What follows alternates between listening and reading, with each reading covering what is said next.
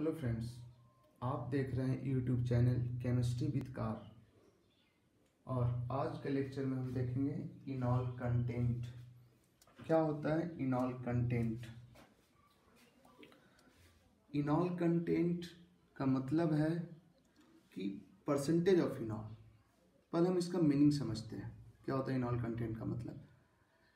देखो, एक एसीटोन है। किसी वेसल में एसीटोन रखा हुआ है। तो तुम जानते हो कि ये जो एसीटोन है, इसका कुछ पोर्शन इनॉल में कन्वर्ट होगा और इनॉल के साथ डायनेमिक इक्विलिब्रियम में आ जाएगा। ठीक है? तो चूँकि इक्विलिब्रियम आया तो इसका कुछ इक्विलिब्रियम कांस्टेंट होगा। इसका equilibrium constant six into ten to the power minus nine है। इसी तरह किसी दूसरे वेसल में अगर एसिटल डिहाइड है, इसका भी कुछ फॉर्म इनॉल में कन्वर्ट होगा और फिर डायनेमिक इक्विलिब्रियम में आ जाएगा।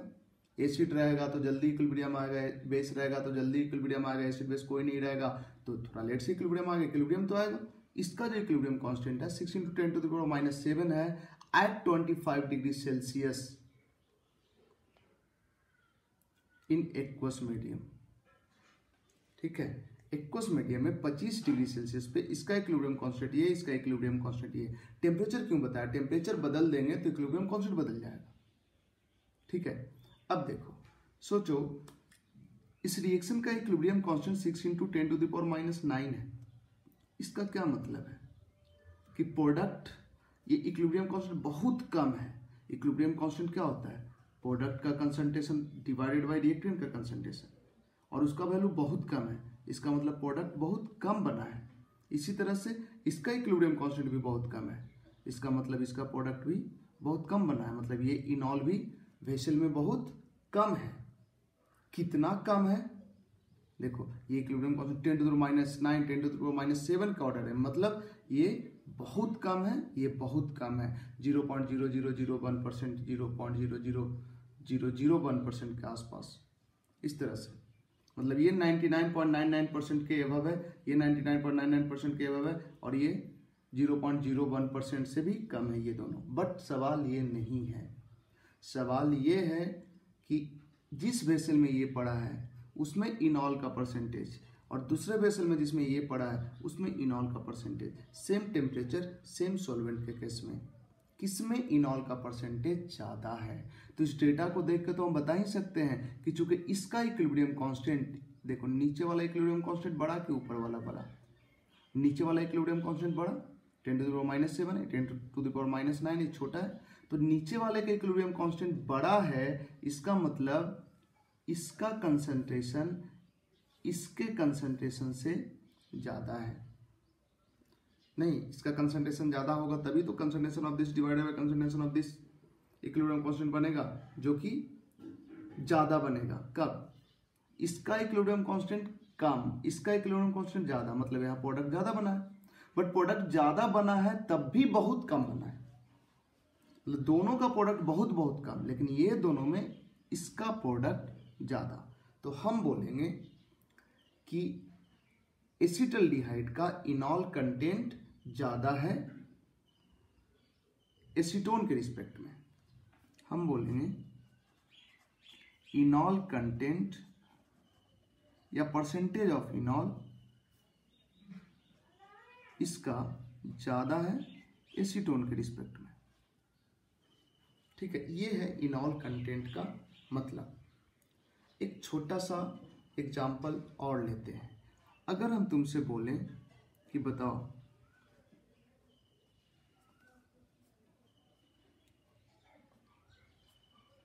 एक कंपाउंड है, ये, और एक दूसरा कंपाउंड है, ये। दोनों में किसका इनॉल कंटेंट ज़्यादा?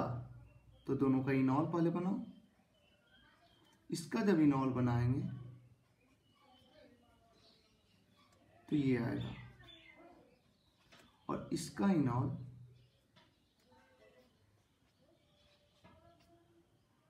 ये। अब तुम बताओ। डेटा नहीं पता, बट क्या हम बता सकते हैं कि किसका इक्विलिब्रियम कांस्टेंट ज़्यादा होगा? इसका इक्विलिब्रियम कांस्टेंट ज़्यादा होगा। क्यों? क्योंकि देखो, यहाँ जो प्रोडक्ट बना है ना प्रोडक्ट एरोमेटिक बना है एरोमेटिक बना है। इसका मतलब क्या हुआ? कि यहाँ पे कीटो ज़्यादा स्टेबल या इनॉल ज़्यादा स्टेबल इनॉल ज़्यादा स्टेबल ये ज़्यादा स्टेबल है इस दोनों में तो ये ज़्यादा बनेगा। बट यहाँ पे ऐसा कोई स्टेबलाइजिंग फैक्टर कुछ स्पेशल चीज़ नहीं है। इसका मतलब नॉर्मल इनॉल कम स्टेबल होता है कीटो से। यहाँ पे क्या हुआ? इनॉल यहाँ पे जो इनॉल है इनॉल है, ज़्यादा स्टेबल है कीटो से। और यहाँ पे जो इनॉल है, कम स्टेबल है कीटो से। मतलब ये दोनों में ये ज़्यादा स्टेबल। मतलब इसका इक्विलिब्रियम कांस्टेंट बहुत ज़्यादा और ये दोनों में ये कम स्टेबल। इसका मतलब इसका इक्विलिब्रियम कांस्टेंट बहुत कम। तो पूछा जा सकता है, इस दोनों में किसका इक्विलिब्रियम कांस्टेंट ज़्यादा? ऊपर वाले का इक्विलिब्रियम कांस्टेंट ज़्यादा, नीचे वाले का कम। और इसका इक्विलिब्रियम कांस्टेंट ज़्यादा मतलब प्रोडक्ट ज़्यादा बना है। मतलब इस दोनों में इनॉल कंटेंट किसका ज़्यादा? इस दोनों में इनॉल कंटेंट किसका ज़्यादा? ऊपर वाले में इनॉल कंटेंट ज़्यादा। ठीक है? अब सवाल है, हम कैसे देख के बोलेंगे सर किसका इनॉल कंटेंट ज़्यादा? सिंपल सा बात है, जिसका इनॉल ज़्यादा स्टेबल होगा, उसका इनॉल कंटेंट ज़्यादा। इनॉल ज़्यादा स्टेबल किस बेसिस पे बोलेंगे? देखो, या तो इनॉल ज़्यादा स्टेबल देख लो, या इनॉलेट ज़्यादा स्टेबल देख लो। दोनों में से कोई देख लो। ठीक है? अब तुमको लगेगा कि इनॉल इनॉलेट कंट्राडिक्ट करेगा, नहीं करेगा कंट्राडिक्ट। तुम्हारे केसेस में जो क्वेश्चन पूछा जाएगा उसमें कंट्राडिक्ट नहीं करेगा। इनॉल की स्टेबिलिटी चेक करो, या इनॉलेट की स्टेबिलिटी चेक करो। ठीक है? अब देखो, इसके बाद आते हैं आगे। कुछ और एग्ज़ाम्पल पे। जनरली इनॉल का परसेंटेज बहुत कम होता है कीटो के रिस्पेक्ट में। बट कुछ एक एग्ज़ाम्पल है जिसमें इनॉल कीटो से ज़्यादा स्टेबल होता है। या कुछ केसेस ऐसा, देखो, हम फिर से बोल रहे हैं, इनॉल का परसेंटेज कीटो के रिस्पेक्ट में बहुत बहुत कम zero point zero zero one percent zero point zero one percent ऐसे होता है। बट कुछ केसेस में इनॉल का परसेंटेज थोड़ा ठीक ठाक होता है। थोड़ा ठीक ठाक होने का मतलब कीटो से ज़्यादा नहीं, पाँच परसेंट, दस परसेंट ऐसे। तो उसमें हम क्या बोलेंगे कि इनॉल का परसेंटेज ठीक ठाक है। कुछ से एग्ज़ाम्पल में ऐसा भी है कि इनॉल ही कीटो पे डोमिनेट कर गया है। उसी में से एक ही है, यहाँ पे ऑलमोस्ट हंड्रेड परसेंट इनॉल होता है। कीटो निग्लिजेबल होता है, क्योंकि एरोमेटिक हो जाता है। इसके वजह से ठीक है? दो एग्ज़ाम्पल और देखते हैं। एक है two four pen pentane dione two four pentane dione एक दो तीन चार पाँच pentane two four one two three four five two and four पे अन डबल वन ओ ये हुआ टू फोर पेंटेन डाई अन इसका इनॉल बनाते हैं। इसका इनॉल बन, बनाते हैं। दो ऑप्शन है। इधर भी हाइड्रोजन है, इधर भी हाइड्रोजन है, ठीक है? बट इधर से जब हाइड्रोजन निकालेंगे तो जो निगेटिव चार्ज होगा, दोनों तरफ़ रेजोनेंस करेगा। इसलिए हम इनोलेट जो बनाएँगे, यही वाला बनाएँगे। इधर ओ रहने देते हैं, यहाँ निगेटिव चार्ज लाते हैं। इस तरह से ये हो गया इनॉल और इधर मिथाइल ठीक है? तुमको लगेगा कि सर आपने तो बोला था एसिड के केस में कुछ और बेस के केस में कुछ और बनाएँगे। भाई, यहाँ पे दोनों ही केस में एक ही बनेगा। क्योंकि यहाँ से एच निकलेगा बेस रहेगा तो बेस तो एसिडिक का हाइड्रोजन खोजेगा तो एसिडिक हाइड्रोजन तो ये ज़्यादा है, इससे ज़्यादा एसिडिक ही है, क्योंकि यहाँ से एच निकलेगा निगेटिव चार्ज दोनों तरफ़ रेजोनेंस में जाएगा, इसलिए यहाँ से एच निकलेगा तो इनोलेट यहाँ पे बने, यहाँ पे निगेटिव चार्ज आएगा तो निगेटिव चार्ज इधर रेजोनेंस करके ऊपर गया, फिर सोलवेंट से एच लेके ये बन गया। अब तुम बोलोगे सर हम यहाँ बनाते तो?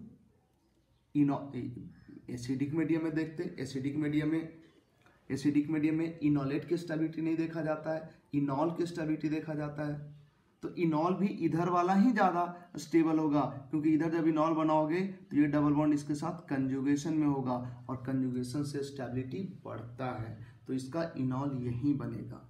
इसी तरह से जब इसका बात करेंगे हम, या रुक जाते हैं, पहले इसको कंफर्म कर लेते हैं। इसका जो इनॉल है, इसमें यहाँ पे हाइड्रोजन बॉन्डिंग हो जाता है। और देखो कंजुगेशन भी हो गया, यहाँ कंजुगेशन भी नहीं था, यहाँ कंजुगेशन भी हो गया, यहाँ से लेके यहाँ तक रेजोनेंस कंजुगेशन से भी स्टेबिलिटी बढ़ता है। क्या यहाँ पे एडवांटेज मिला? कंजुगेशन कंजुगेशन भी हो गया हाइड्रोजन बॉन्डिंग भी हो गया। ठीक है? तो हाइड्रोजन बॉन्डिंग भी तो स्टेबलाइज करता है हाइड्रोजन बॉन्डिंग के कारण भी तो एनर्जी रिलीज़ होता है। तो हाइड्रोजन बॉन्डिंग से भी ये स्टेबलाइज हुआ कंजुगेशन भी आ गया। ओवरऑल ये सब इफ़ेक्ट मिला के इनॉल का परसेंटेज कीटो के रिस्पेक्ट में बढ़ जाता है और ये हो जाता है, ये जो इनॉल है, ये 76 परसेंट हो जाता है, बाकी ये कीटो रह जाता है। मतलब यहाँ पे इनॉल का स्टेबिलिटी इनॉल का स्टेबिलिटी कीटो से जाता है due to conjugation and hydrogen bonding इस वजह से इनॉल का परसेंटेज 76 परसेंट हो जाता है। इन लिक्विड कंडीशन मतलब लिक्विड मतलब जब इसको प्योर फॉर्म में रखेंगे और लिक्विड रखेंगे तो कोई और सॉल्वेंट नहीं वाटर या मिथेनॉल इथेनॉल कोई सॉल्वेंट देंगे तो नहीं, क्योंकि सॉल्वेंट का भी इफ़ेक्ट इनॉल कंटेंट पे होता है। तो हम उसको अभी डिस्कस नहीं किए हैं। हम इसको प्योर फॉर्म में लिए हैं लिक्विड फॉर्म में, तब ये 76 परसेंट आया है। ठीक है? अब जरा गौर करो।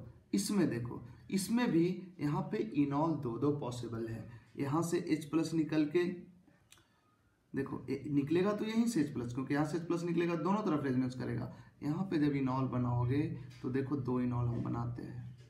O H double bond O O E T एक इनॉल ये हुआ और दूसरा इनॉल जो हुआ, double bond O O H O E T ये। अब सवाल है कि कौन वाला इनॉल बनेगा? हाइड्रोजन बॉन्डिंग तो दोनों में होगा, बट बनेगा ये वाला इनॉल, ये नहीं बनेगा। या ये बहुत कम बनेगा। मेजर ऊपर वाला होगा। क्यों? वही डबल बॉन्ड इनोलाइजेशन में जाएगा, जो कम स्टेबल होगा। ये जो डबल बॉन्ड है, इसके साथ रेजोनेंस में है, जिसके वजह से ये डबल बॉन्ड ज़्यादा स्टेबल है। ये डबल बॉन्ड कम स्टेबल है। इसलिए ये जाएगा इनोलाइजेशन में। इसलिए ये बनेगा मेजर प्रोडक्ट, ये नहीं बनेगा मेजर प्रोडक्ट। ठीक है? तो यहाँ पे दो पॉसिबिलिटी था इनॉल का। ये वाला इनॉल बना। ठीक है? यहाँ पे देखा गया है कि यहाँ तो कंजुगेशन यहाँ भी। कंजुगेशन तो यहाँ पे भी। और हाइड्रोजन बॉन्डिंग भी यहाँ पे। इस वजह से इसका परसेंटेज भी ठीक ठाक हो जाता है बट ये ठीक ठाक होने के बावजूद भी आठ परसेंट ही रहता है। आठ परसेंट। आठ परसेंट बस। बाकी इस फॉर्म में रहता है। ठीक है? अब जरा गौर करो। ये नहीं बताया जा सकता है कि हाइड्रोजन बॉन्डिंग और कंजुगेशन के कारण परसेंटेज 50 परसेंट से बढ़ जाएगा कि 50 परसेंट से कम रहेगा। जैसे यहाँ 76 हो गया, यहाँ 8 परसेंट है, यहाँ बढ़ के फिफ्टी से ज़्यादा नहीं हुआ, ये नहीं बताया जा सकता है।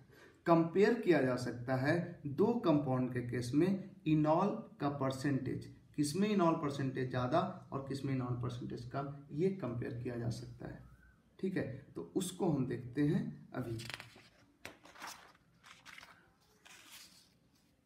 बट उसको देखने से पहले एक हम क्वेश्चन दो तीन एग्ज़ाम्पल देखते हैं जिसमें इनॉल का परसेंटेज कीटो से ज़्यादा हो जाता है। ठीक है? यहाँ पे जरा गौर करो। हालाँकि जो भी हमने एग्ज़ाम्पल लिया है, सब प्योर लिक्विड में लिया है। कोई सॉल्वेंट नहीं हमने यूज़ किया है, क्योंकि सॉल्वेंट यूज़ करने से भी इनॉल कंटेंट पे इफ़ेक्ट पड़ता है। देखो, ये जो कीटोन है डाई कीटोन है, और ये डाइकीटोन है, दोनों में एक खास बात है। इसका जो इनॉल होता है, ये हंड्रेड परसेंट मतलब ये किसी वेसल में है तो ऑलमोस्ट इसी फॉर्म में रहेगा। जबकि इसका enol five point six into ten two to the power minus three percent कहने का मतलब एक ही जैसा दिखने वाला चीज़ यहाँ पे इनॉल कंटेंट बहुत ज़्यादा और यहाँ पे इनॉल कंटेंट बहुत कम। ऐसा क्यों? एक्सप्लेनेशन दिया जाता है कि यहाँ पे होता क्या है। यहाँ पे माइनस डेल्टा और यहाँ पे प्लस डेल्टा यहाँ पे माइनस डेल्टा यहाँ पे प्लस डेल्टा ऑक्सीजन का हायर इलेक्ट्रोनिगेटिविटी के कारण, जिसके वजह से इसके और इसमें निगेटिव निगेटिव के बीच में रिपल्सन यहाँ पे रिपल्सन बहुत ज़्यादा होता है। यहाँ पे जो रिपल्सन है रिपल्सन बहुत ज़्यादा होता है। इस रिपल्सन को कम करने के लिए एक देखो, एक कीटो इनॉल में कन्वर्ट हो गया, जिसके वजह से यहाँ पे प्लस डेल्टा आ गया और यहाँ पे माइनस डेल्टा आ गया। माइनस डेल्टा तो था और यहाँ पे ऑक्सीजन के साथ हाइड्रोजन जुड़ा हुआ तो प्लस डेल्टा है। इसके वजह से इस दोनों के बीच जो रिपल्सन निगेटिव निगेटिव के कारण हो रहा था, वो रिपल्सन कम हो गया, बल्कि अट्रैक्शन शुरू हो गया, जिसके वजह से ये अनस्टेबल था निगेटिव निगेटिव रिपल्सन के कारण, जबकि यहाँ पॉजिटिव निगेटिव अट्रैक्शन हो गया। इस वजह से ये फॉर्म में रहता ही नहीं है, ये इस फॉर्म में कन्वर्ट हो जाता है। इसलिए इस कंपाउंड का ऑलमोस्ट हंड्रेड परसेंट इनॉल के फॉर्म में ही होता है। ठीक है? दूसरा केस देखते हैं इसका। इसमें क्या होता है कि इसका इनॉल अगर बनाओगे तो देखो, इनॉल हमने बनाया है, और यहाँ पे हाइड्रोजन बॉन्ड भी होगा। लेकिन होता क्या है, इसमें ये जो सेक्शन है, यहाँ पे जो माइनस डेल्टा है, और यहाँ जो माइनस डेल्टा है, इसके बीच में रिपल्सन नहीं होता ज़्यादा। क्यों नहीं होता रिपल्सन ज़्यादा? क्योंकि एक्चुअली तुम बोलोगे कि सर इसको ऐसे क्यों बनाए? आप ऐसे बनाते ना।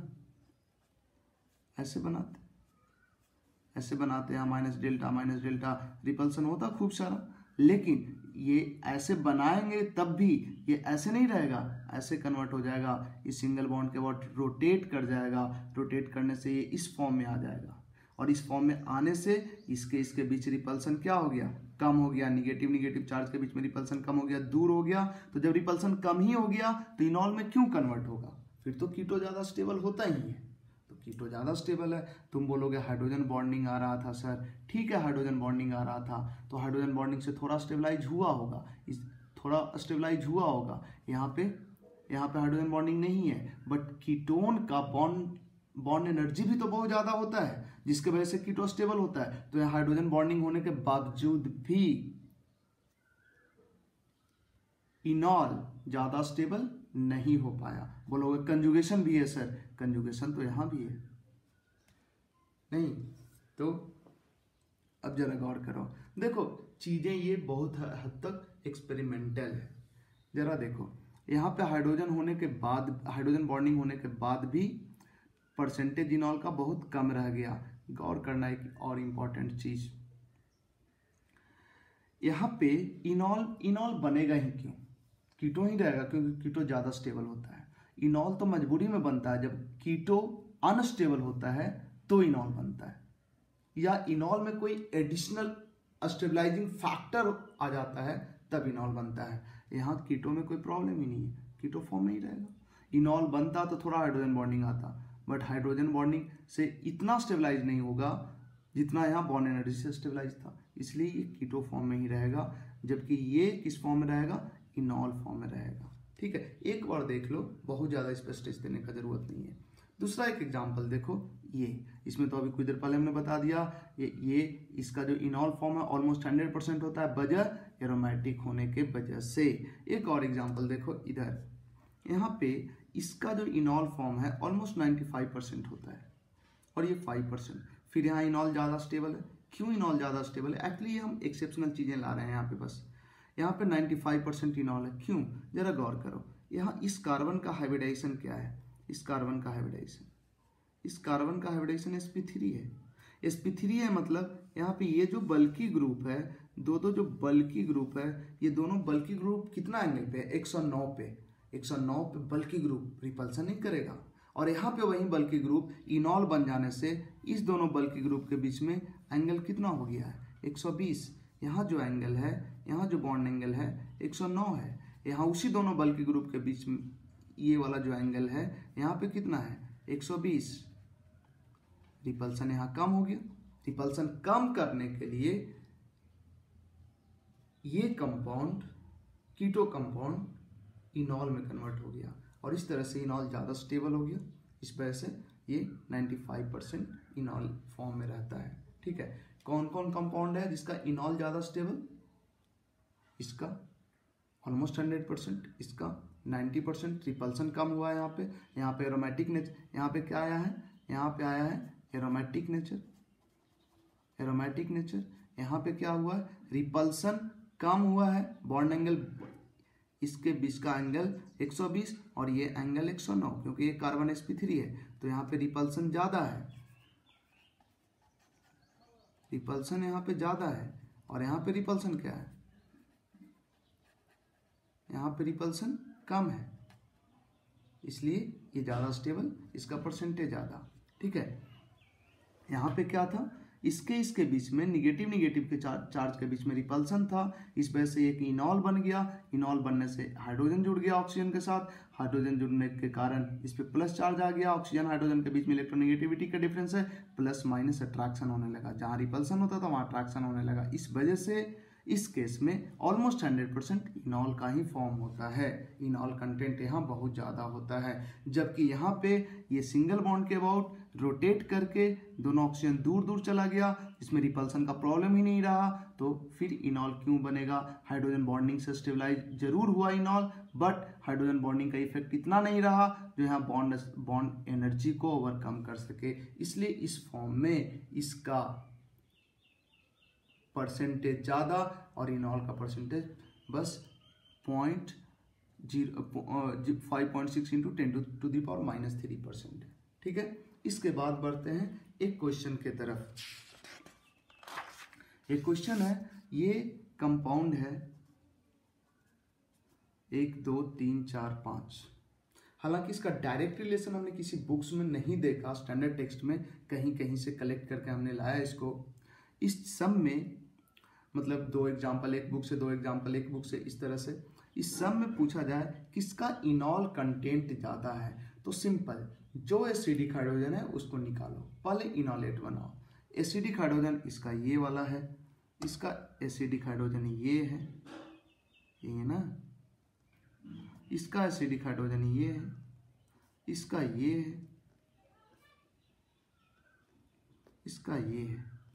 एसिडिक हाइड्रोजन निकालोगे तो इस तरह से बनेगा। अब इस सब में सबसे ज़्यादा स्टेबल कौन? इसका रेजनेंस दोनों साइड होगा, इसका रेजनेंस दोनों साइड सबका रेजनेंस दोनों साइड अब जरा गौर करो, इसका प्लस आई इसका कौन सा इफ़ेक्ट है?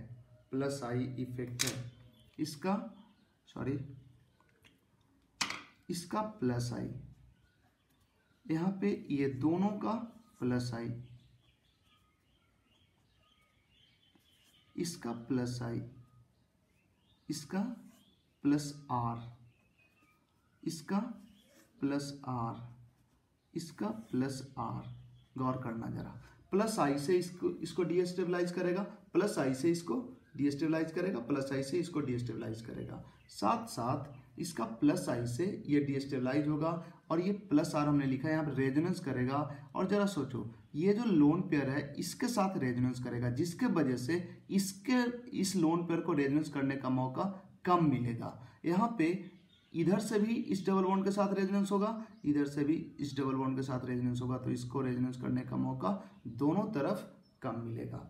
अब तुम खुद बताओ, ये सब में सबसे ज़्यादा स्टेबल कौन? यहाँ दोनों तरफ़ रेजोनेंस में दिक्कत है, यहाँ एक तरफ़ रेजोनेंस में दिक्कत है, यहाँ यहाँ किसी साइड रेजोनेंस में दिक्कत नहीं है, लेकिन प्लस आई से इसको डिस्टेबलाइज किए हुए, यहाँ किसी तरफ़ रेजोनेंस में दिक्कत नहीं है बट प्लस आई से इसको डिस्टेबलाइज किए हुए यहाँ किसी तरफ़ रेजोनेंस में दिक्कत नहीं है और कोई डिस्टेबलाइजिंग फैक्टर नहीं तो सबसे ज़्यादा स्टेबल तो ये हुआ। स्टेबिलिटी का ट्रेंड अगर बात करें तो ये हुआ स्टेबिलिटी का ट्रेंड अगर इसमें स्टेबिलिटी का ट्रेंड ये है तो जिस एसी जिसका कंजुगेट बेस इसका कंजुगेट बेस ही तो है, इसका कंजुगेट बेस ही तो है, इसका conjugate base conjugate base conjugate base इसका कंजुगेट बेस ये है और जिसका कंजुगेट बेस ज़्यादा स्टेबल होता है, ये ज़्यादा एसिडिक होगा है ना? अब जरा देखो, ये ज़्यादा एसिडिक था, इसका कंजुगेट बेस ये ज़्यादा स्टेबल मतलब ये इनोलेट ज़्यादा स्टेबल तो जिसका इनोलेट ज़्यादा स्टेबल होता है, वो उसमें इनॉल कंटेंट ज़्यादा होता है। इनॉलेट ज़्यादा स्टेबल तो इनॉल ज़्यादा बनेगा इनॉल ज़्यादा बनेगा तो इनॉल कंटेंट ज़्यादा होगा। तो इसका स्टेबिलिटी ज़्यादा, इस वजह से इधर की बात करें तो ये है एसिडी का स्ट्रेंथ का ऑर्डर एसिडी का स्ट्रेंथ और यही किसका ट्रेंड हो जाएगा? इनॉल कंटेंट का, या परसेंटेज ऑफ़ इनॉल का। ठीक है? इसके बाद चलते हैं नेक्स्ट नेक्स्ट लेक्चर में। अब इस लेक्चर में बस इतना ही। अगले लेक्चर में हम देखेंगे सोलवेंट इफ़ेक्ट ठीक है? अभी का जो लेक्चर हमने देखा, इसको समराइज कर लेते हैं एक बार फिर से।